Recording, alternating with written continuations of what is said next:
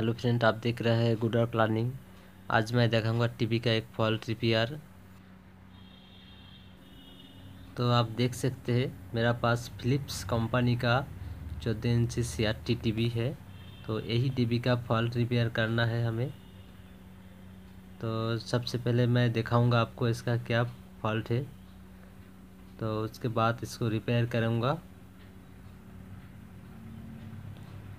तो चलिए शुरू करते हैं। सबसे पहले इस टीवी को ऑन करना है, इसको इस लाइन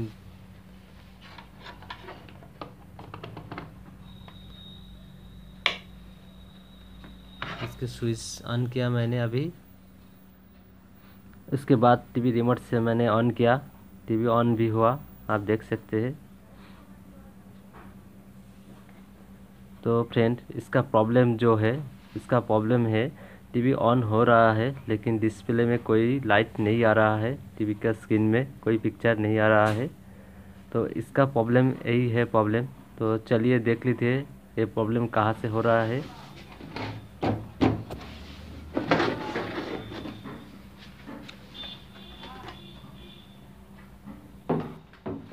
तो फ्रेंड, आप देख सकते हैं, जो फिलिप्स कंपनी का टीवी है, इसका ओरिजिनल सर्किट भी है। यही है इसका ओरिजिनल सर्किट बोर्ड। तो इस टीवी में जो फॉल्ट हो रहा है, ये फॉल्ट होता है हमारा जो सीआरटी बोर्ड है, आप देख सकते हैं। ये सीआरटी बोर्ड का फॉल्ट है तो यहाँ पर हमें चेक करने से ये फॉल्ट रिपेयर कर सकते हैं। तो यहाँ पर तो फ्रेंड याद रखें, जो ऐसा प्रॉब्लम क्यों होता है, जब पिक्चर ट्यूब ऑन करने के लिए जो सप्लाई वोल्टेज ज़रूरत है, वो वोल्टेज हमें आते हैं स्टिक पिन से। तो यही वोल्टेज पिक्चर ट्यूब को नहीं मिले तो पिक्चर ट्यूब कैसे ऑन होगी और पिक्चर ट्यूब में लाइट कैसे मिल आएगी? तो यही सप्लाई वोल्टेज हमें सबसे पहले देखना होगा।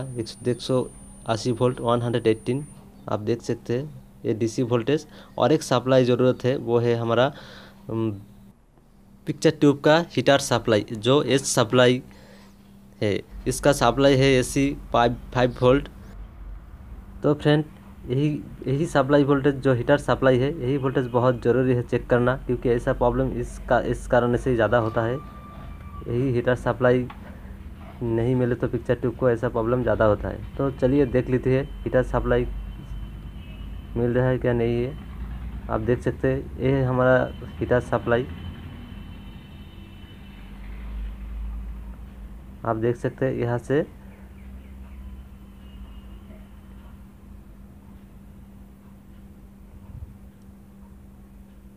ये है C R T base board यहाँ पर आते हैं।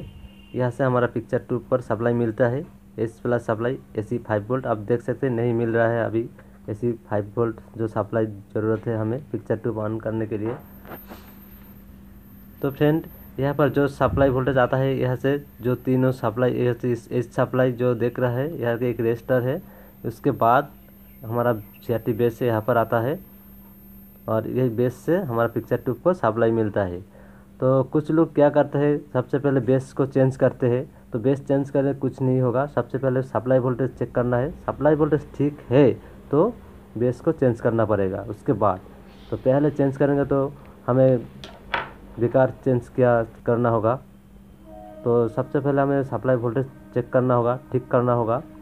तो उसके बाद नहीं काम करेगा तो बेस चेंज कर सकते हैं।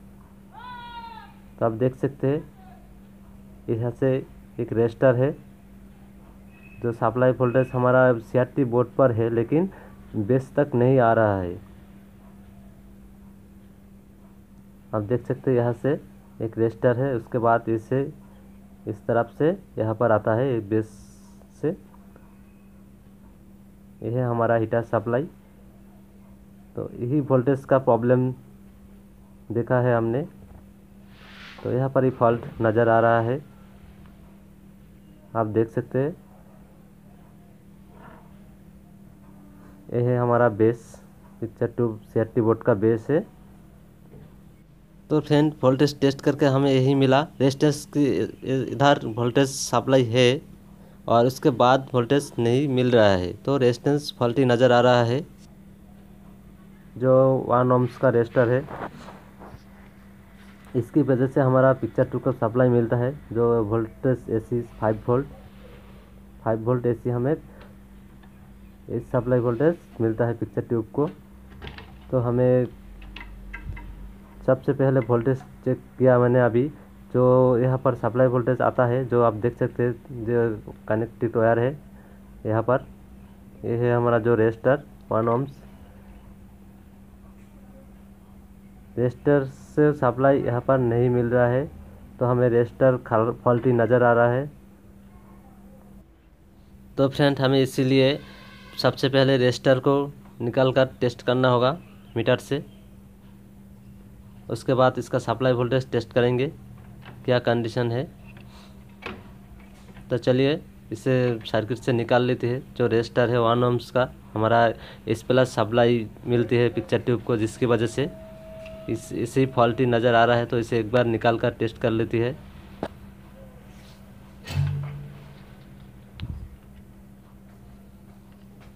सबसे पहले ऐसे इसको निकालना होगा। शोल्डरिंग साफ़ करना है।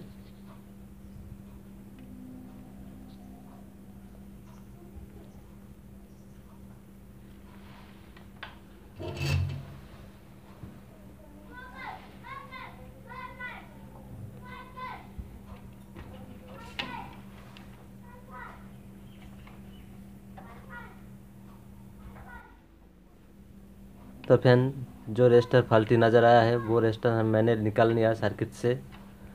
अब मैं इसे मीटर से टेस्ट करेंगे।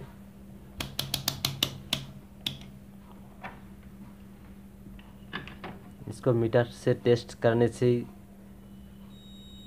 इसका, इसके बारे में सही इन्फॉर्मेशन मिलेगा हमें। देख सकते हैं, इसका कोई वैल्यू नहीं दिखा रहा है। इसका मतलब ये ख़राब हो चुकी है। इसका कोई वैल्यू दिखा नहीं है मैंने मीटर से टच किया। आप देख सकते हैं। इसका कोई वैल्यू नहीं दिखा रहा है। जब मैं टच करती हूँ इसके तो ये तो बिल्कुल ख़राब हो चुकी है। आप देख सकते हैं।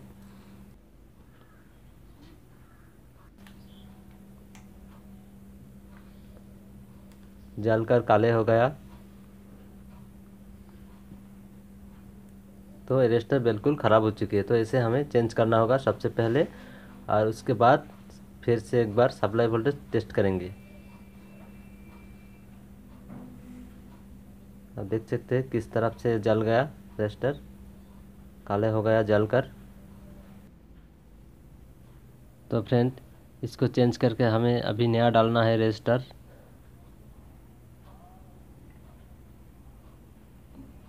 तो इसका वैल्यू है वन ओम्स का रजिस्टर है।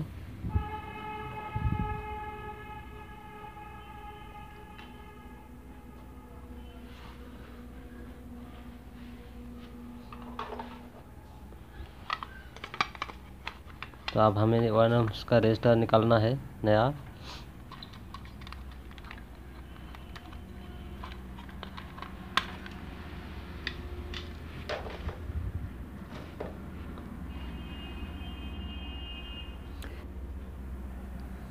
ये है नया रजिस्टर। सर्किट में डालने से पहले एक बार मीटर से टेस्ट कर लेना चाहिए, क्योंकि कभी कभी नया रजिस्टर भी ख़राब निकलते हैं। इसलिए हमें टेस्ट करके ही इसे डालना होगा सर्किट में। आप देख सकते हैं, बिल्कुल ठीक है नया रजिस्टर। तो आप इसे लगा सकते हैं सर्किट में।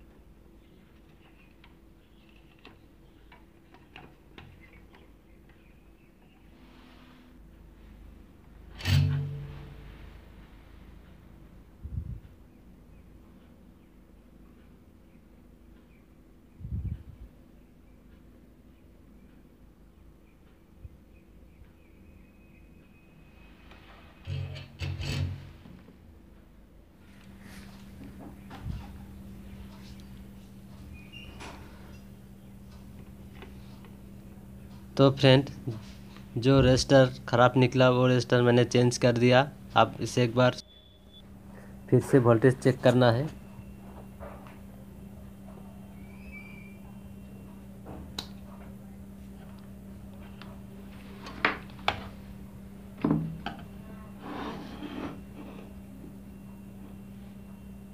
तो इससे पहले टीवी को ऑन करना है। ऑन कीजिए।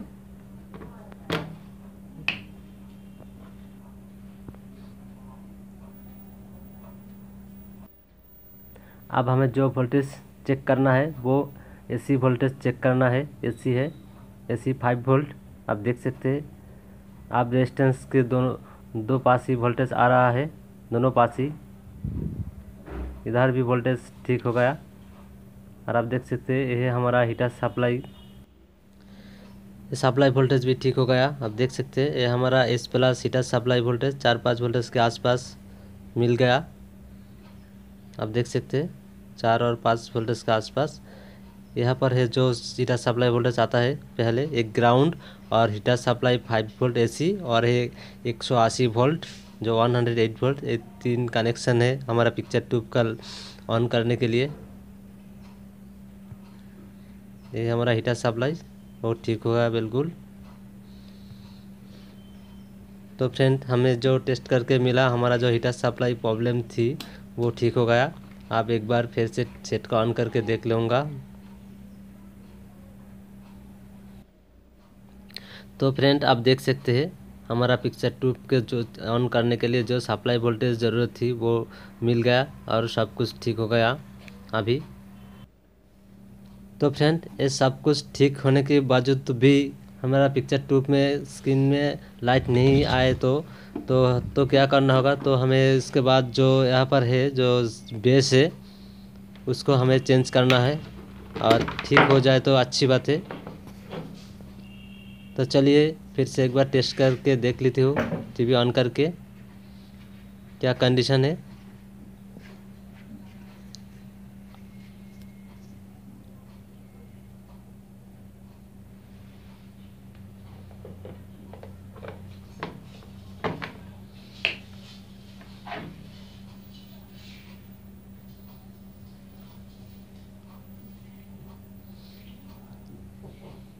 टीवी को मैंने ऑन किया, देख सकते, बिल्कुल ठीक हो गया, क्योंकि जो प्रॉब्लम थी वो ठीक हो गया, इसीलिए। तो फ्रेंड आप ऐसे ही कोई भी सेक्शन का फॉल्ट रिपेयर करें तो ऐसे देख के चेक करके ठीक ठाक से चेंज करें। तो फ्रेंड कोई भी सेक्शन का फॉल्ट रिपेयर करने से पहले उस सेक्शन का वोल्टेज सबसे पहले चेक करना बहुत ज़रूरी है, क्योंकि यहाँ पर सप्लाई वोल्टेज नहीं मिलेगा तो कैसे काम करेगा वो सेक्शन तो आपको ज़्यादा पार्ट्स चेंज करने का ज़रूरत नहीं हो, नहीं पड़ेगा। तो आप बहुत आसानी से कर पाएँगे। थैंक यू दोस्तों, मेरा वीडियो को देखने के लिए। और ये वीडियो अच्छे लगे तो लाइक कीजिए सब्सक्राइब कीजिए, क्योंकि इस तरह वीडियो मैं हर तरह लाता रहता हूँ।